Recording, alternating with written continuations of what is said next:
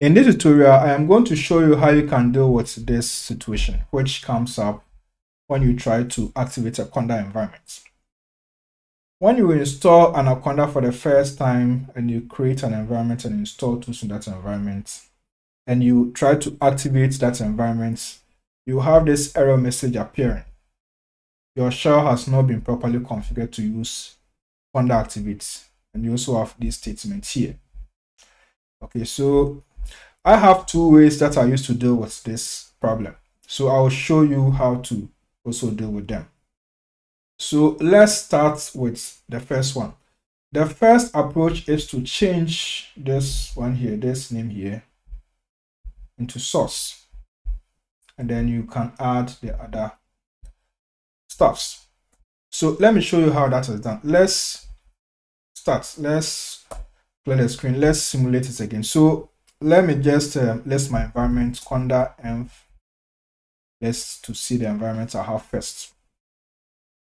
So i have my mapping environment. I am recreating the problem again. So conda activate mapping. Okay so i have this problem. Now let's look at the first approach to deal with it. So i'll do it again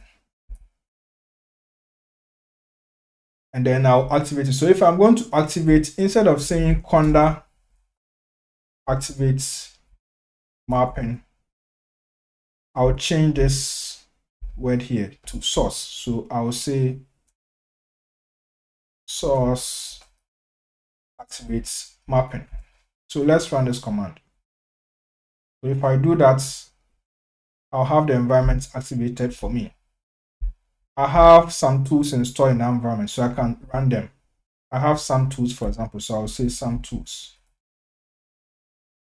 So it has been executed. So I have activated the environment. So now, if I deactivate that environment, let's say conda deactivate, and then I want to activate again, I can now use conda activate mapping and the environment will be activated for me. Okay, so this is one approach to do that. Now let's look at the second approach.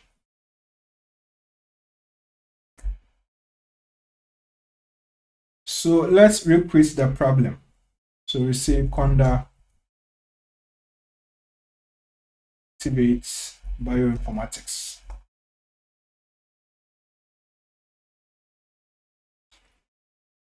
So what we need to do is to specify a shell.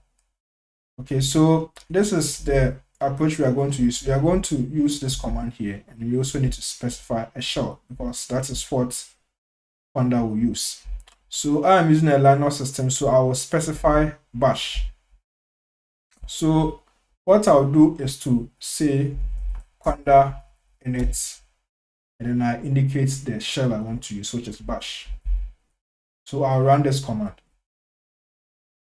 So once I do it and it's successful, I'll have this statement here, which tells me to close and reopen my current shell. So let's open a new shell. Okay, we have opened a new shell. So this is what I have. Notice this name here, base. This is the base environment. So normally if you're using Anaconda, you will be switching between environments. So what we have here, every time we open a new shell, we are going to have this base environment shown here.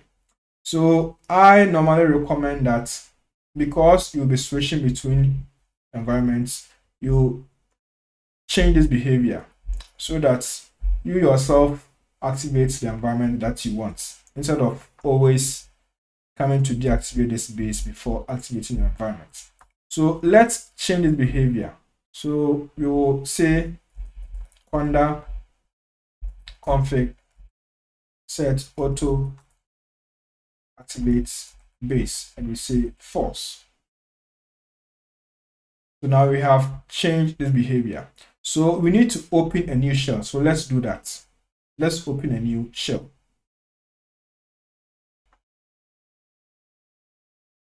Okay, we have opened a new shell. So you will notice that the base environment has not been activated.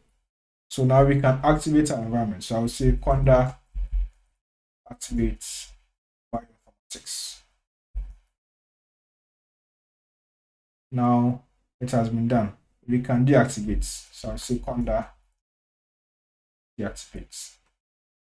Okay, so with a second approach, whenever you restart your PC, you don't need to use the source activate command. You can just move straight to the conda command and then use conda activate to activate your environment. I repeat.